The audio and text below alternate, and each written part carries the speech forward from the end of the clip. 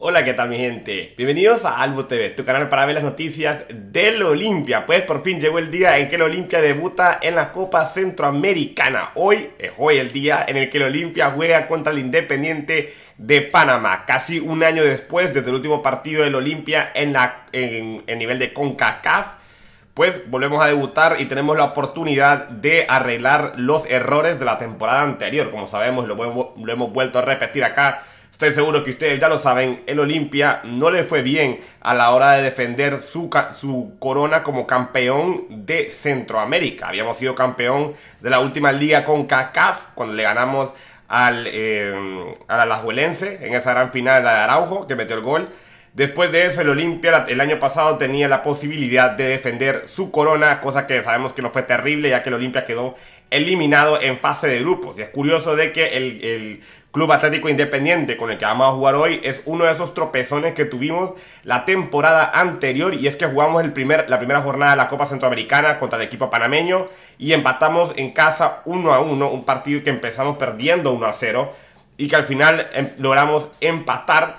Y, pero e, eso más eh, la pérdida contra el Real Estelí fue un poco lo que nos perjudicó. El Olimpia después termina ganando sus últimos dos partidos, pero ya no eran suficientes porque tanto el Independiente de Panamá, el CAI y el Real Estelí nos, eh, nos, superaron en puntos, por lo cual el Olimpia quedaba eliminado en fase de grupos y sabíamos de que aquí em, es la, puerta para poder clasificar a la CONCACAF Champions League. Aquí, creo que son seis equipos los que clasifican. Si sos semifinalista, estás clasificado ya seguro. Después te toca jugar como un tipo repechaje entre los eh, perdedores de los cuartos de final habrían dos puestos más y entre los dos, entre dos y dos, sacarían los otros dos puestos. Así que como mínimo, si el Olimpia quiere clasificar a la CONCACAF Champions League, tendrá que pasar de fase de grupo para clasificarse a los cuartos de final. Y una vez ya siendo cuartos de final, si ganan, ya clasificarían a la Champions. Si no, pues tendríamos un partido de repechaje.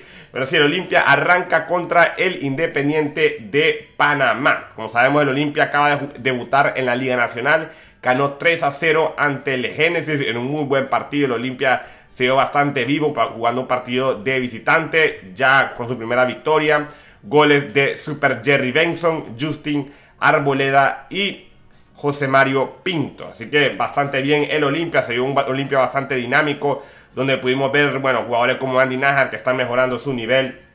Pudimos ver nuestro nuevo fichaje, Ignacio Colombini, jugador que yo creo que no arrancará hoy de titular no sabemos, pero yo creería que la, pareja de titulares hoy será Justin Arboleda y Super Jerry Benson. No sabemos qué es lo que va a pasar con el Toro Benguche, no al 100%.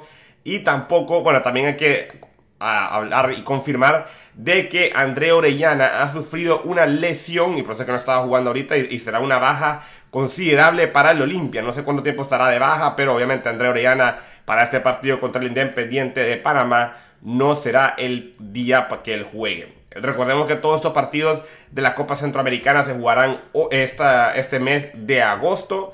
Son este partido, el siguiente semana de partido.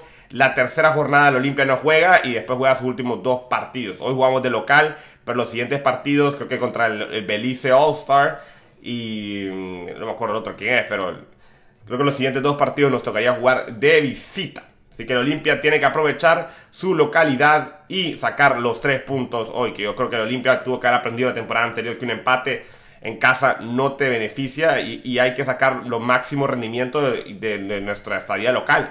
Hay que sacar los tres puntos contra el Independiente de Panamá.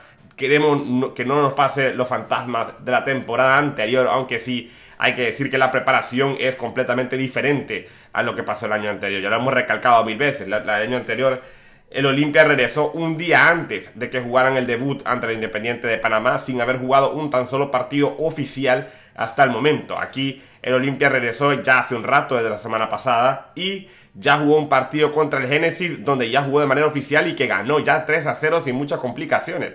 Así que lo único negativo que se puede decir es la baja de André Orellana, porque es un jugador bastante sensible. Probablemente veremos a Jonathan Paz con José García o al menos que Julián Martínez entre ahí y volvamos a ver a Gabriel Araujo de lateral izquierdo o al Mango Sánchez.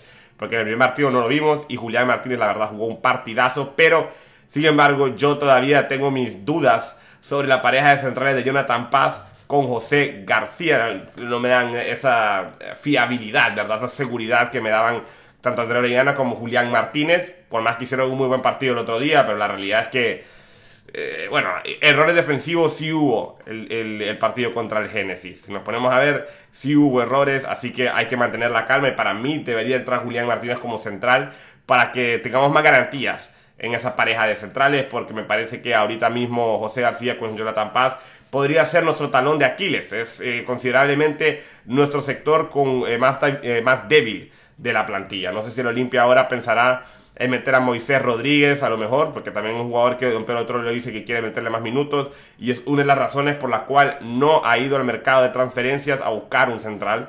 Así que tendremos que ver cuál es la opción que va a sacar Don Pedro Trolio para este partido, pero lo cierto es que André Orellana no podrá jugar este partido.